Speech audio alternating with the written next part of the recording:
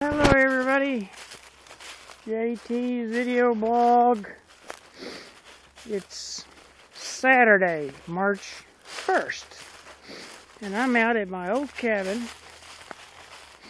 looking for hepatica.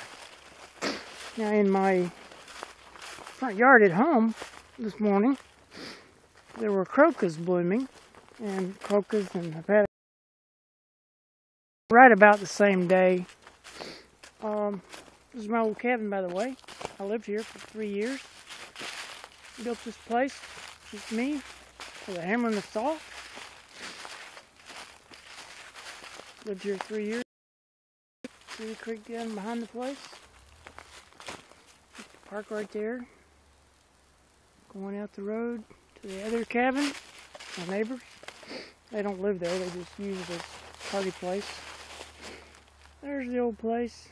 I had a very lovely time there. Anyway, I checked one spot for hepatica, and they're not there. I mean, they're not blooming. Uh, so I'm going to go over that cliff over there. There's usually quite a few blooming over there. Um, see if I can find some over there. I think they're bloomed there today. Somewhere, somehow, they there will be a bloom. There's the old Richards cabin up there. You see my Jeep. Uh, this is pretty much my my home turf right here, and uh, I know the owners, and I'm going to see if they'll let me have that log right there. That cedar log is exactly what I'm looking for. There's a seal log for my cabin. You know, the final log. Or actually, the final two logs. I've got, uh, I've already got one. I found one needs to be 24 feet long and no more than about 8 inches in diameter, and that's really hard to find. Just to be the last two logs in my cabin. But, uh, yeah, I'll just uh, see if I can get that log. That'd be great.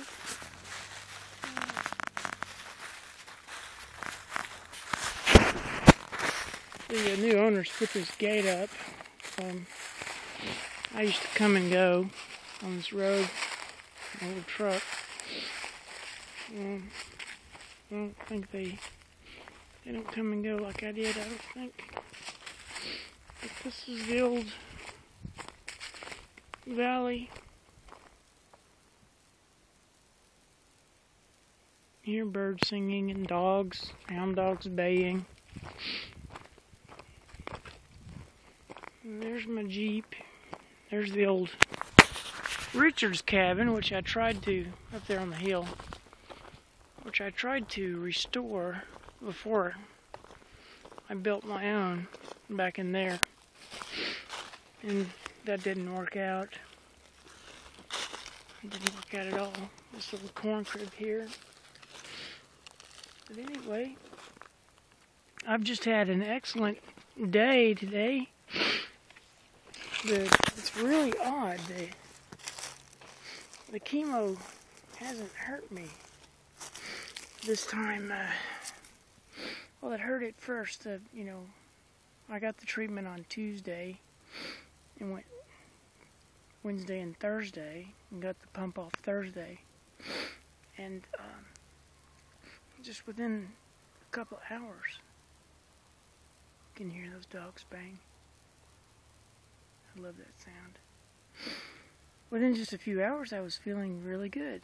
And uh, boy, last time it was just the opposite. I mean, it had a hold of me for 10 days. So I just never know you know, what's what. You never know how it's going to be. But praise God that I feel so good today. Here comes somebody on a four-wheeler. People drive by on the county road. Strawberry Road.